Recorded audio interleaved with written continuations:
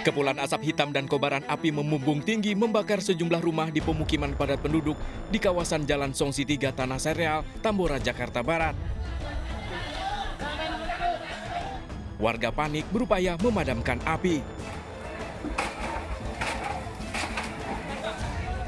Saksi mata menyebut kebakaran berasal dari bagian atas rumah kontrakan miliknya yang diduga akibat arus pendek listrik.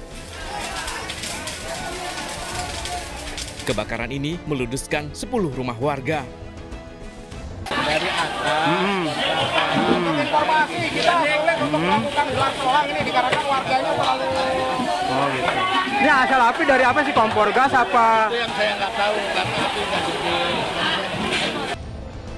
Api berhasil padam satu jam kemudian setelah 20 unit mobil pemadam kebakaran gabungan dari Jakarta Barat dan Jakarta Pusat dikerahkan ke lokasi.